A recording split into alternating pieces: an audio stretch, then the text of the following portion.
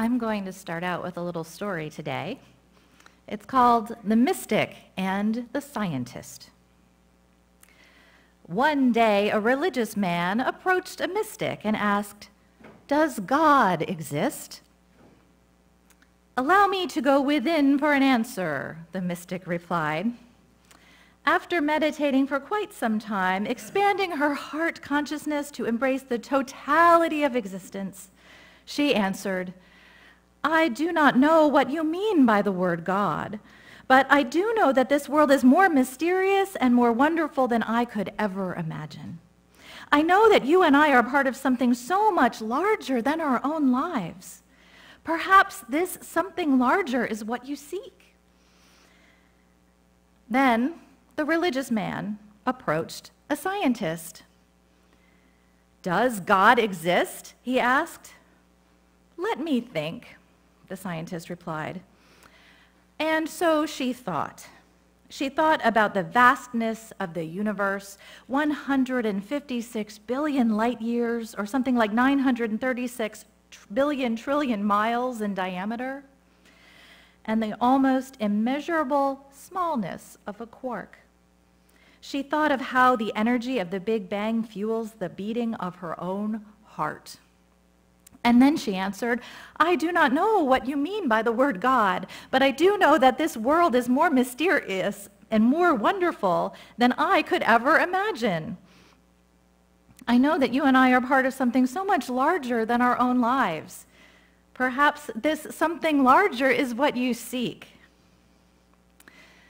The religious man then thought to himself, he thought of what he knows and what he does not know. He thought about how he knows what he knows and how he knows he doesn't know what he doesn't know. he thought about his experience of the world and how it is but one tiny, infinitesimal fraction of all experience. He thought about his dependence on forces larger than himself, and he thought about the interdependence of all existence.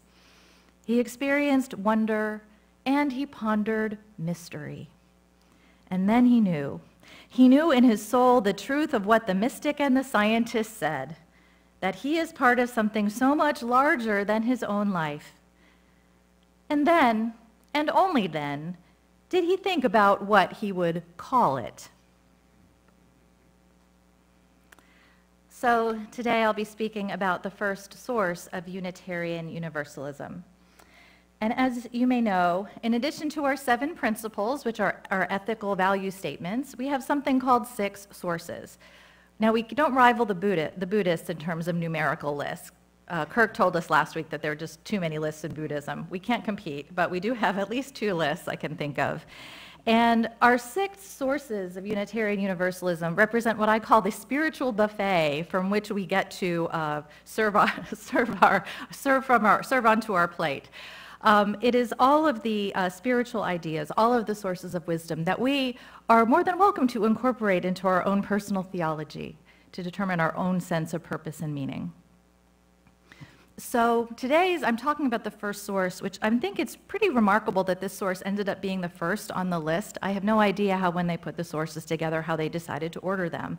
But I think this is cool because our first source is direct experience of that transcending mystery and wonder affirmed in all cultures, which moves us to a renewal of the spirit and an openness to the forces which create and uphold life.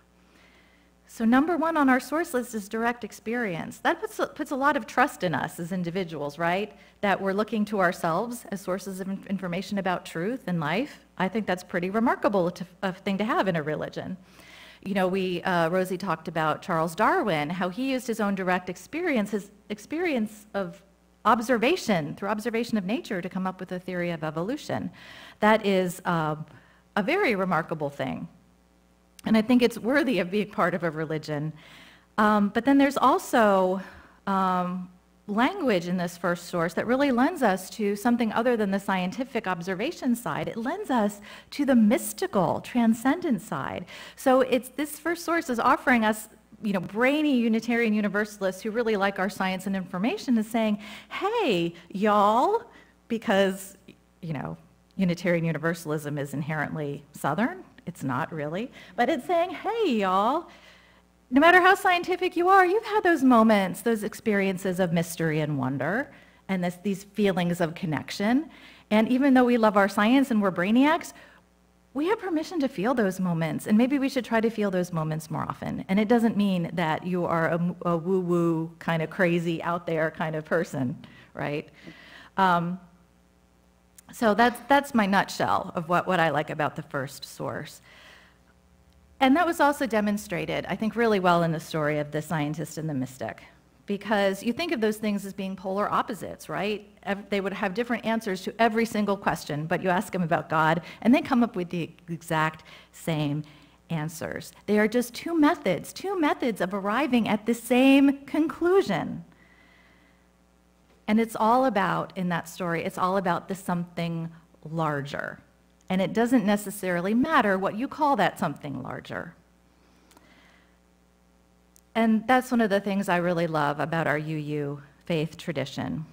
It doesn't matter if we're theists or agnostics or atheists. We're generally interested in connecting with something larger, whether that something larger is described as God or goddess or as the interdependent web of all existence or if it's described as the universe, or just simply the mystery, or maybe just the human family.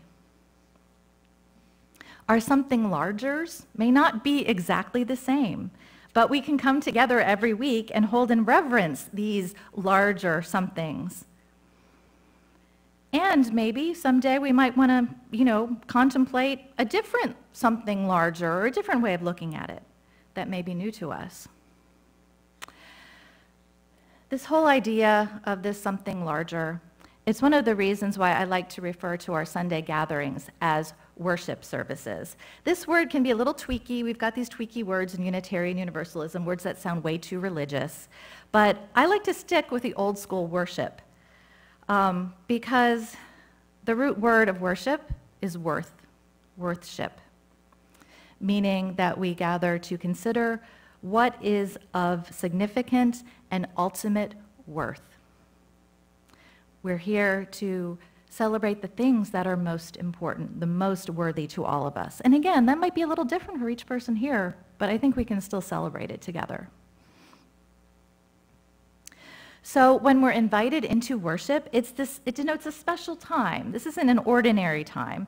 It's a time we actually set aside time from our daily lives to contemplate and celebrate and revere, hold in reverence. Maybe if we're lucky, we'll get a little awe in there as well.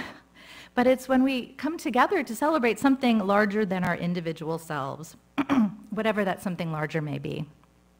And I think that exercise of, in and of itself is quite worthy because, you know, we human beings, you know how self-involved we tend to get and how we kind of forget about the greater whole, how we lose the forest for the trees in our everyday lives, you know, with our problems that seem so over, overwhelming and all encompassing.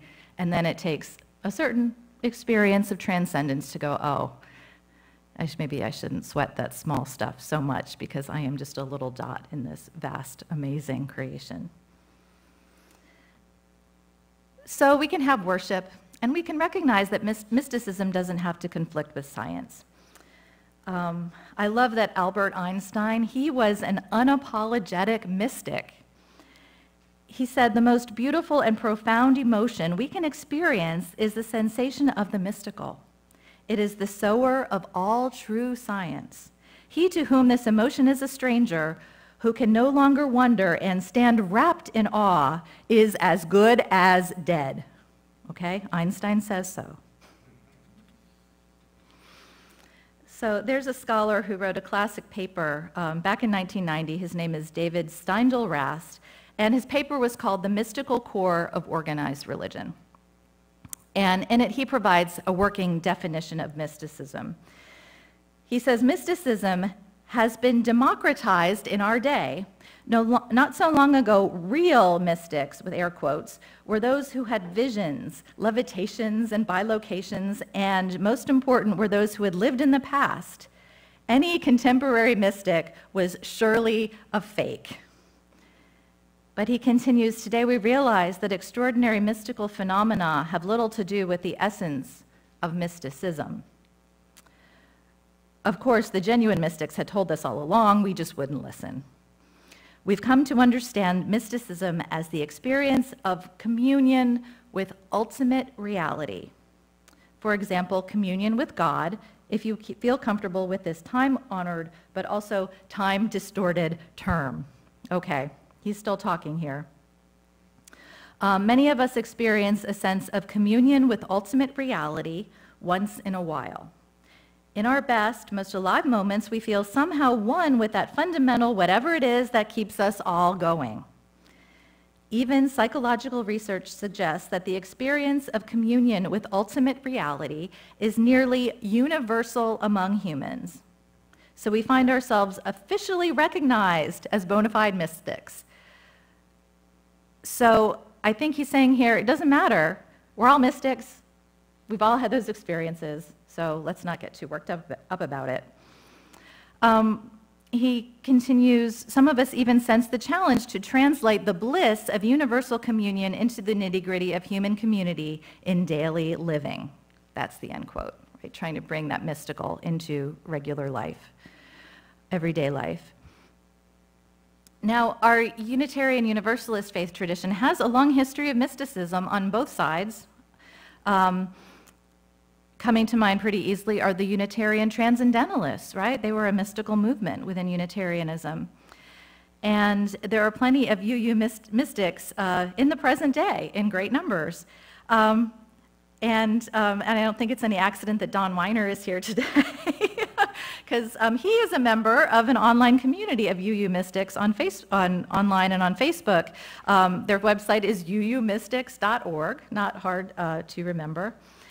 Um, and this group, they say that mysticism is one of the most misunderstood concepts, often mistaken with esoteric and far out spiritual paths. That's the woo woo stuff I referred to earlier. Some believe mysticism is the opposite of rationalism, or that mystics are isolated beings disconnected from reality. But yet they say mysticism is quite the opposite. It's communion with right? It's communion with rather than a disconnect from ultimate reality. It's about getting to ultimate reality. It's not checking out into some spacey place. Again, they, they say, they say this in, in genuine print, they say mysticism isn't necessarily some woo-woo escape into a past life or an out-of-body experience. I wonder if woo-woo is in the dictionary. It's, it's, very, it's very useful and graphic, I think, in its terminology.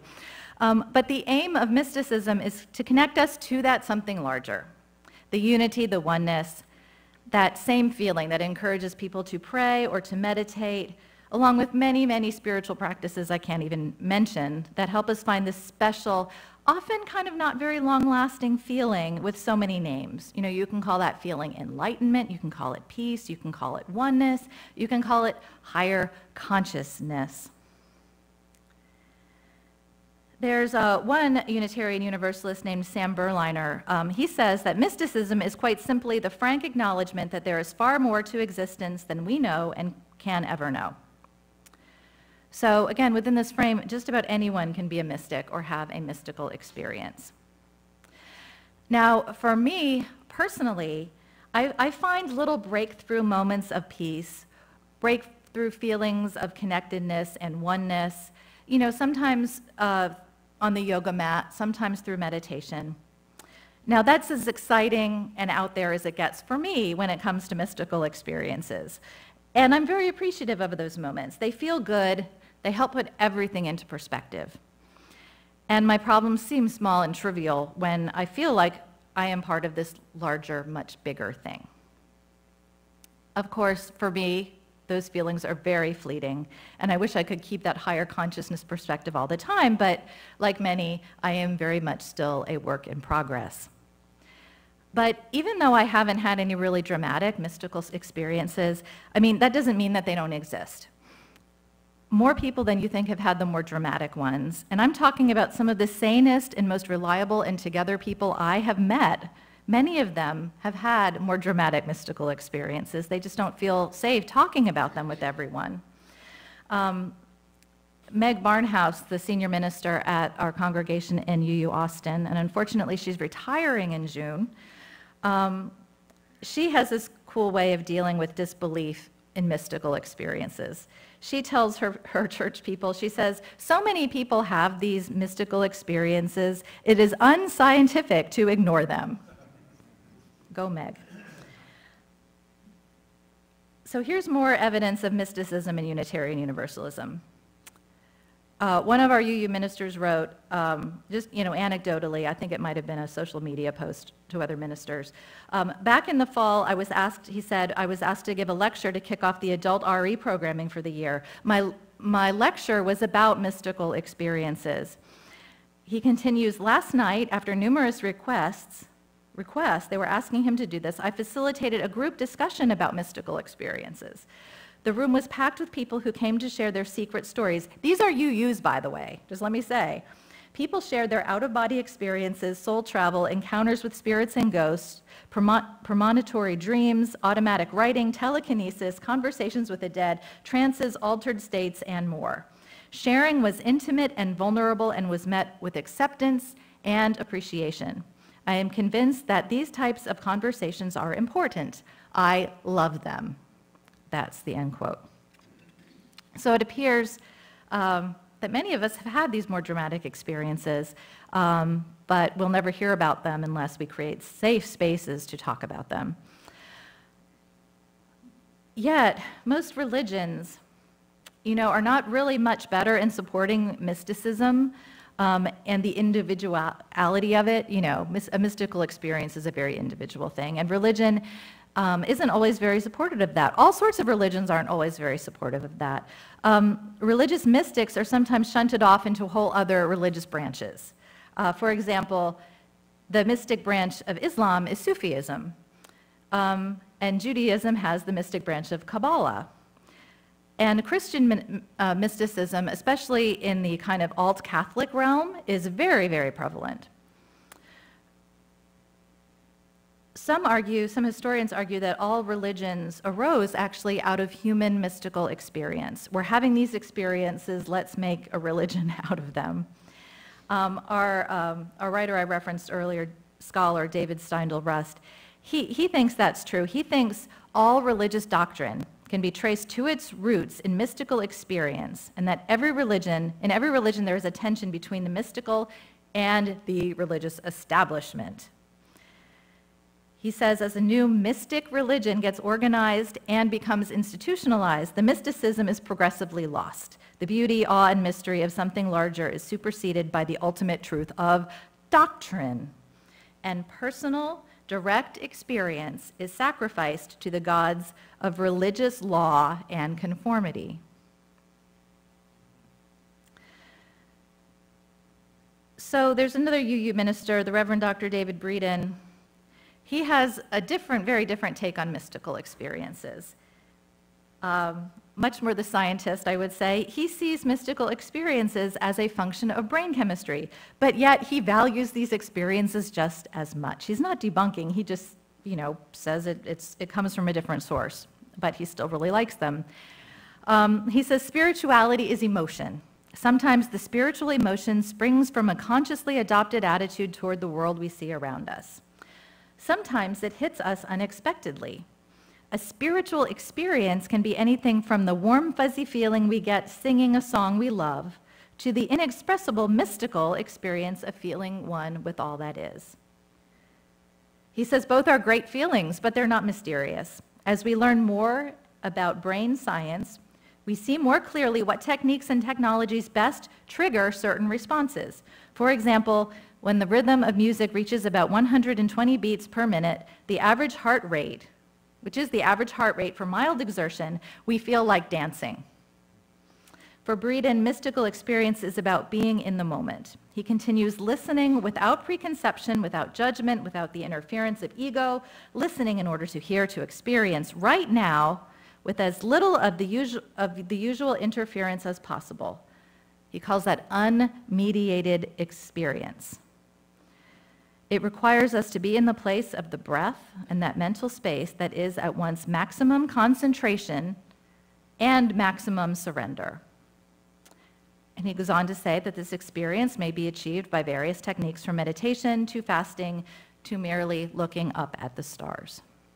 From the centering prayer of Christianity to Buddhist Zazen to the various yogas, human beings have developed actual techniques for getting into this space, this brain chemistry space of mystical experience Breeden is talking about.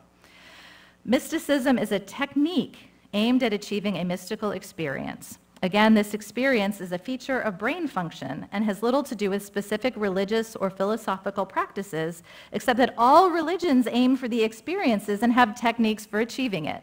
Every religion has a means of getting there to that type of experience.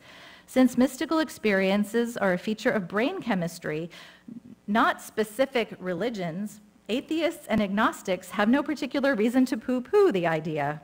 Mystical experience doesn't need a religious component at all as was demonstrated by the work of a psychologist who introduced the notion of flow experience.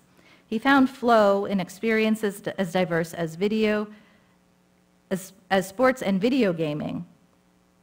And I'm going to talk about flow experiences, but I just want to back up because he basically said you don't really need religion to have a mystical experience. I don't think he was saying you shouldn't come to church or be part of a church community because church offers more. You know, they, they offer like community and sharing and love and support. So, you know, um, you can have your mystical experiences on your own at home and still come to church too. All right, now that I've added that, a really important disclaimer, um, because it was a UU minister who said this, so he's not anti-church, um, if he wants to stay employed, that is. But um, so flow experiences as mystical experiences, I think, is a really interesting idea. We talked about flow when we did this series on the happiness course, but um, like you can often think of something you know you do that's all absorbing. Like I'm going to ask the musicians. Wake, wake up, guys. Have you ever had a time when you're noodling around on your instrument and all of a sudden, like, hours have gone by and you were somewhere else? I knew Christian would say yes. I totally. Christian's like, a uh, and Rob is saying yes. Arthur, he's like, yeah, okay, I'll admit, yeah. But these flow experiences are like mystical experiences, and they're characterized by intense and focused concentration in the moment.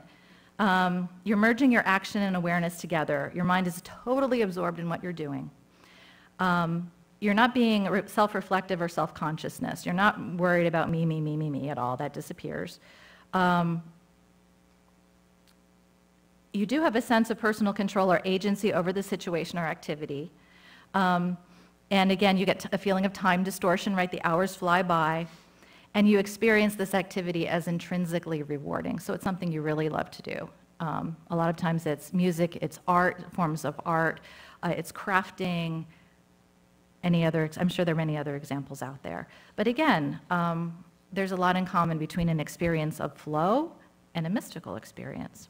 They have a lot of the same characteristics.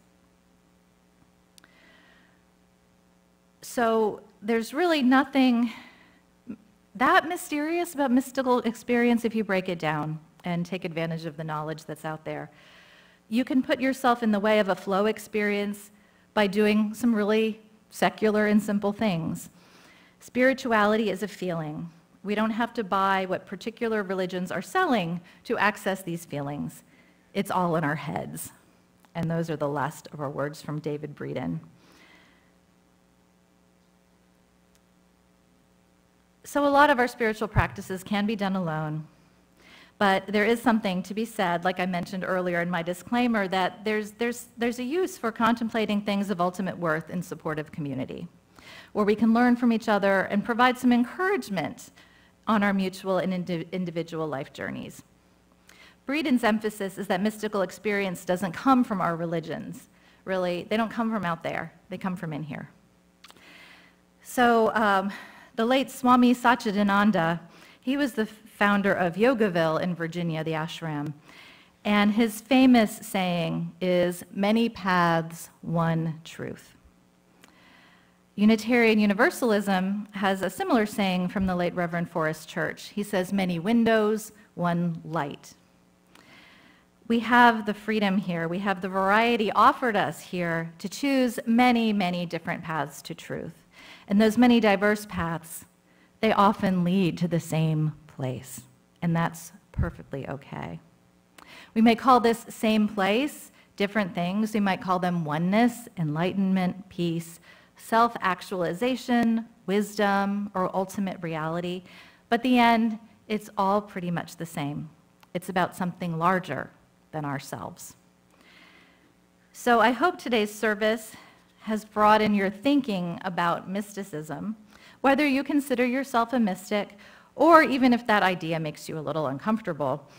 It's important that we acknowledge that we even celebrate our mystical sides, that urge inside us to find oneness, to find wholeness, to find unity, to feel connection, to feel wonder and awe just by the very idea that we exist.